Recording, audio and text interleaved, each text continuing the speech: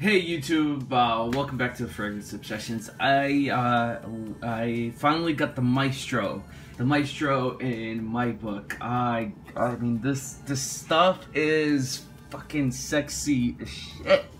I mean I am so head over heels, madly in love with this fragrance. Uh, you know like uh, I'll just jump in and get right to it. I mean this is just sexy, sexy, sexy, sexy in a bottle, hands down.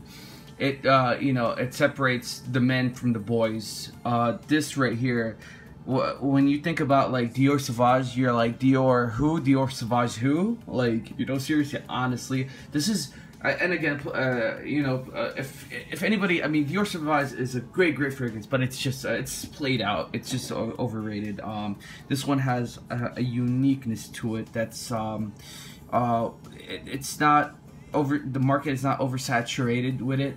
Um, it's a it, you'll be a, a unique individual. I mean, I mean, you know, with this fragrance, this fragrance is like I I haven't smelled anybody or anybody that knows about it unless I mean like uh, besides like people on Facebook, I mean um, yeah, YouTube or the frag heads or somebody that really knows their fragrance or somebody who works at Macy's uh, or whatnot. So uh, uh I, this is by far the most versatile.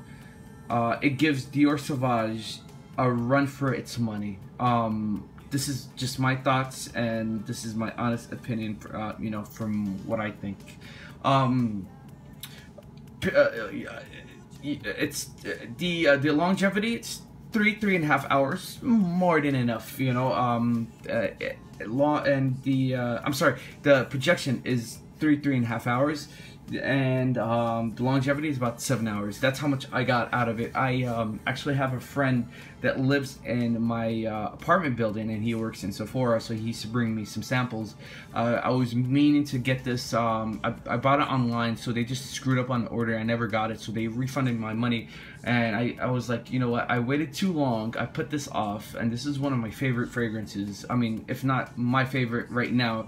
Uh, and this is going to be my signature, um, my signature uh, fra uh, fragrance, um, hands down, until they come up with something else. Because I, I don't see, uh, you know, I mean, I have plenty fragrances I play around with. I, um, you know, you know, a few days if I, I could, I'll wear one thing and then I get tired and I'll just, you know, just to change up, you know, you, you don't get tired.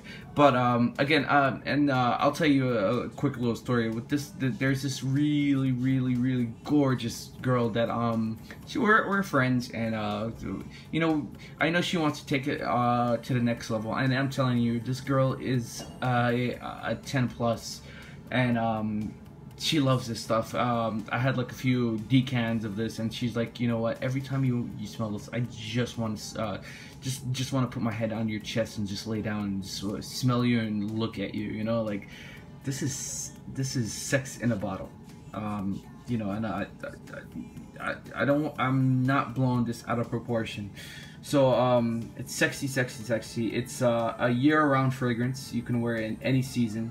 Um, you uh, so like basically what you get out of this the note breakdown is like uh, aromatic bergamot uh, lavender but what separates uh, this from any other fragrance any um, any masculine fragrance you have a watery metallic coal smell. So that's where the carbon comes in with the whole name Luna uh, Rossa Carbon. Um, sexy bottle uh, I think by far the best bottle um, uh, in my book that I have from uh, all my fragrances. Um, uh, and again, uh, this this right here, you know, uh, Dior Sauvage is a great fragrance. It's but this one gives it a run for its money. Believe me. Um, I had it on. I put it on. Um, I put it on. Uh, what was it when I first got it? It was a few hours ago. Projection again. It's uh, it's uh, it's like three hours, three hours, three and a half hours, depending four hours probably. Um, longevity seven, seven and a half hours, uh, just give or take, you know. Uh, but again, uh, I did a uh, a video right, uh, the one be before this. So um, it's about the Dolce and Gabbana gray the one gray. Um, don't get that. I it's not something special. It's you know it smells good. Don't get me wrong. But if you if if you want to get something really good in that same class in a way, go for this one. Go for the any uh, uh, well first the uh, Prada uh, Luna Rossa Carbon or the other uh, Luna Rossa line, but this is by far my favorite.